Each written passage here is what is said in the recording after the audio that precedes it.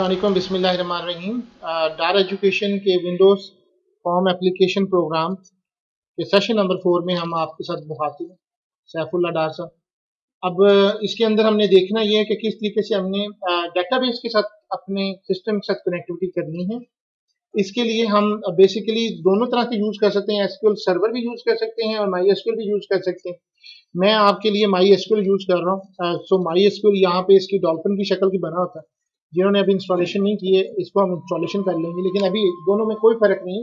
अगर आपने SQL server किया हुआ है और माई एसक्यूएल किया हुआ है तो दोनों सेम टू सेम अभी पहले सिर्फ़ मैं आपके लिए यहाँ पे जब इंस्टॉलेशन हो जाएगी तो रूट पे क्लिक करके मैं एक लॉगिन पे आ जाऊँगा।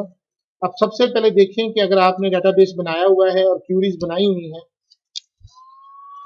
तो आपने एक डाटाबेस बनाना है।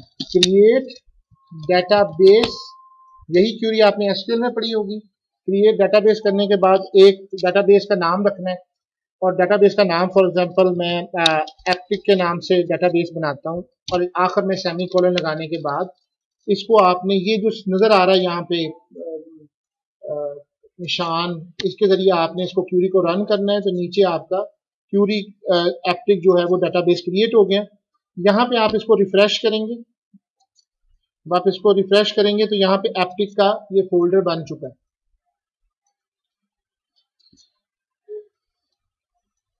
अभी मैं इसके अंदर टेबल्स नहीं बना रहा मैं कुछ नहीं बना रहा मैं सिर्फ़ आपकी एप्लीकेशन के अंदर ये बताना चाह रहा हूँ कि माई एसक्यूएल और विजुअल स्टूडियो के अंदर आपने इन दोनों को मर्ज कैसे करना इसका कनेक्शन कैसे स्टैब्लिश करना है। सो so, आप आ जाए जी यहाँ पे आपकी एप्लीकेशन है ये आपका form one dot C design है। जो हमने लास्ट टाइम तक लॉगिन फॉर्म बनाया था आप लोगों के लिए, वो मैं यहाँ पे स्टाइलो शूज़ का आ चुका हूँ। अब सबसे पहले आपने सोल्यूशन एक्सप्लोर पे आना है। जब आप सोल्यूशन एक्सप्लोर पे आएँगे तो सबसे पहले आपने रेफरेंसेस के ऊपर क्लिक करना है। जब रेफरेंसेस पे क्लिक करेंगे राइट क्लिक करेंगे तो ऐड रेफरेंस आएगा।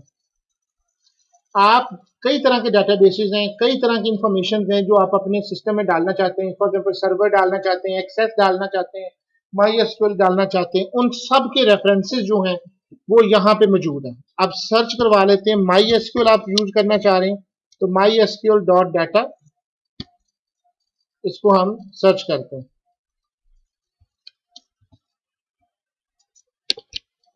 यहाँ रेफरेंस पे क्लिक कर दें, दोबारा से ऐड रेफरेंस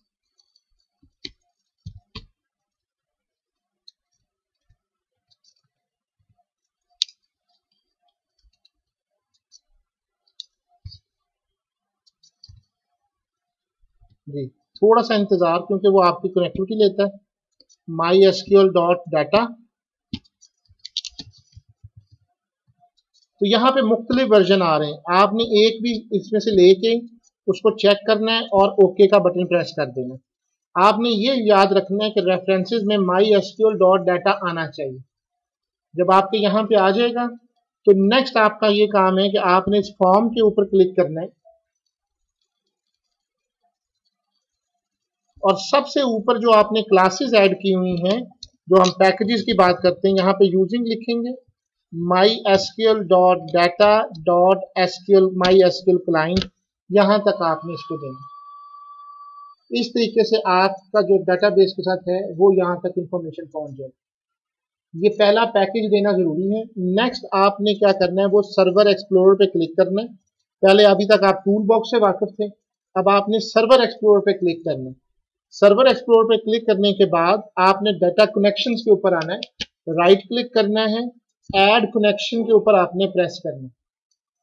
यहाँ से वो आपसे पूछेगा आपका सर्वर नेम। जैसे मेरा सर्वर नेम लोकल होस्ट है। याद रखना है माई एसक्यूएल के अंदर भी और हर जगह पे जो भी आपका है वो लोकल होस्ट ही रहता है।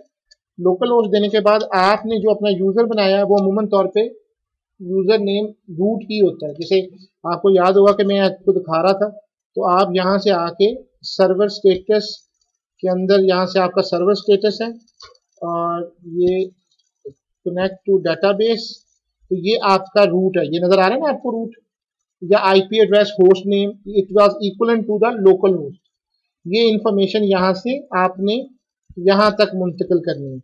मैं अपना पासवर्ड दे रहा हूँ। जो भी आप पासवर्ड इसको इंस्टॉलेशन के दौरान रखा था, उसको सेव माई पासवर्ड करना है और टेस्ट कनेक्शन जब तक आपके ये स्क्रीन के ऊपर टेस्ट कनेक्शन सक्सीडेड का मैसेज नहीं आ जाता अनटिल और अनलेस आपका कोई भी कनेक्शन वर्किंग नहीं करेगा, आप जितनी मर्ज़ी क्यूरीज लिख लें, आपका डेटाबेस के साथ कनेक्टिविटी नहीं होगी।